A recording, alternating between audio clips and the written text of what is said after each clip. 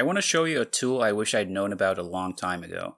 Having a custom keyboard layout is very convenient, especially when you're a linguist, whether you want to type in multiple languages without having to switch between layouts, easily input obscure characters you use in your conlang, or have an IPA keyboard tailored to your needs.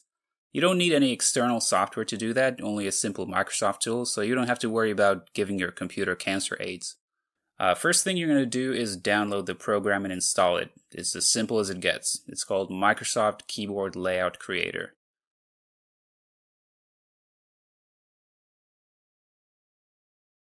Once you open it, you'll be greeted with this screen.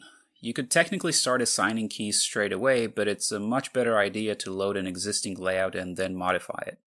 To do that, go to File, Load Existing Keyboard, and I'll just go for the basic US layout for simplicity.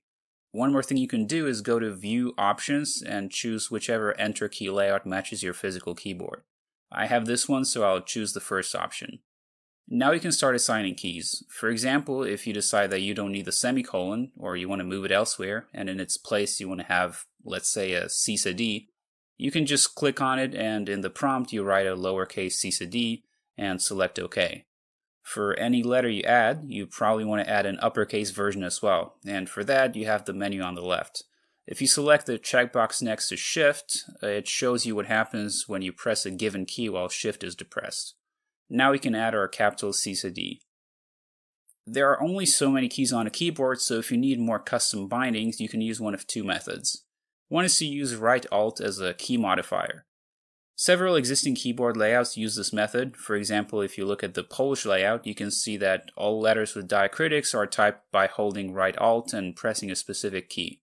If we go back to our US layout, we can see that when we select Right Alt on the left hand side menu, we have a lot of free real estate. Let's say this time we want to add diaeresis to all vowel letters. We can go ahead and do that.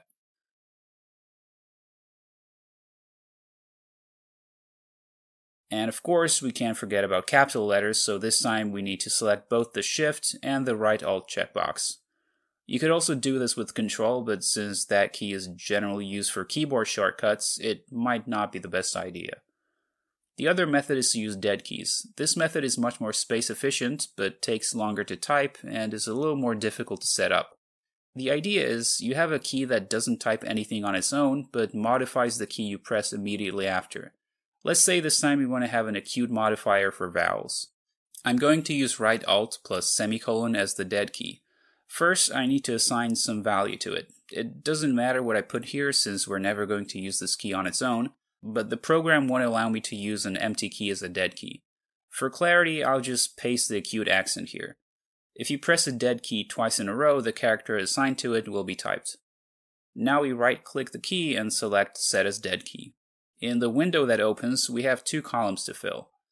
In the base column, we're going to type our base vowels, and in the composite column, their equivalents with acute. You'll see that once we do that, the first two columns convert to the Unicode values of the characters we just typed, and the latter two fill with the actual characters. The way this works is as follows. If you press this key, i.e. the dead key we're editing, and then type the base character, the composite character will be outputted instead. Now we just need to do that for all vowels, including capital letters.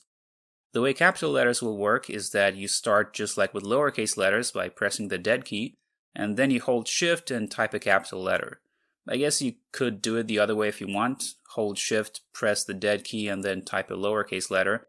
But for that, you would have to set up another dead key in the same spot, but with shift held instead. Up to you. You can also combine both methods. Let's say you have U with diaeresis bound to Alt plus U, but you also want to have U with diaeresis and an acute for typing pinyin, and you don't really feel like creating a separate dead key for that character specifically.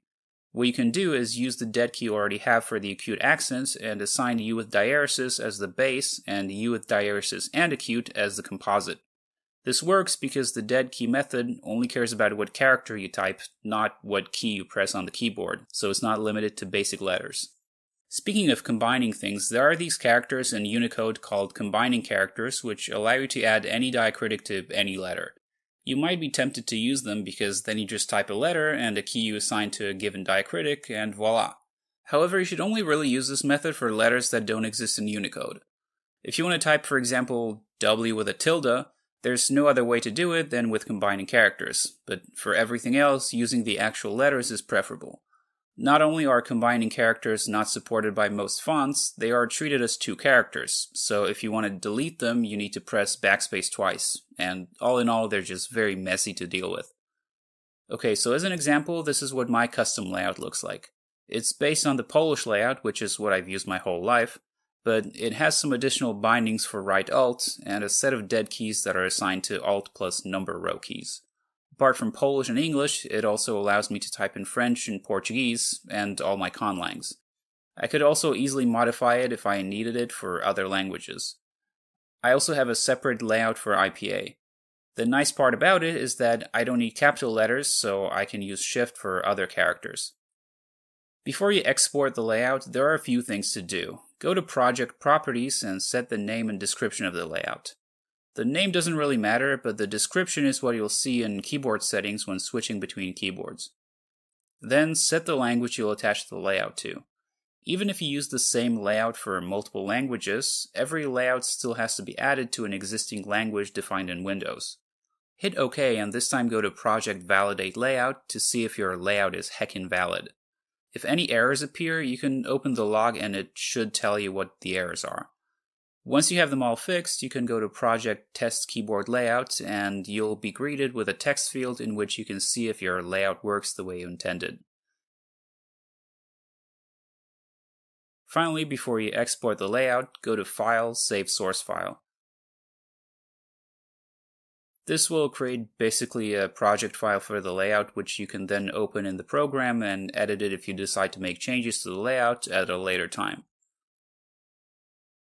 Finally, go to Project, Build DLL and Setup Package, and export your layout.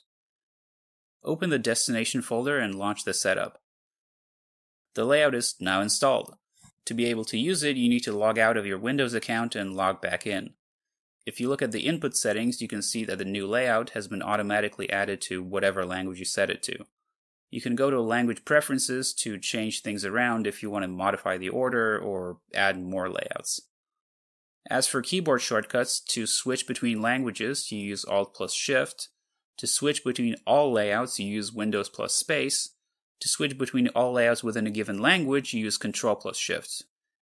Now, I hate this last shortcut because I keep pressing it accidentally when I select text. Thankfully, you can disable it. From the Language Preferences menu, go to Spelling, Typing, and Keyboard Settings, Advanced Keyboard Settings, Input Language Hotkeys, and in the Advanced Key Settings tab, select Change Key Sequence. Then, under the Switch Keyboard Layout header, select Not Assigned. This menu also allows you to create hotkeys for any layout you have installed, even though the point of this tutorial is so that you don't have to resort to that. One more thing to note is that the layout might not work perfectly in all applications. For example, our U with diaeresis and acute binding works in most programs, but for some reason not in Microsoft Word. I don't know why that's the case, but it is something to keep in mind. Anyway, that's it. Hope it helped.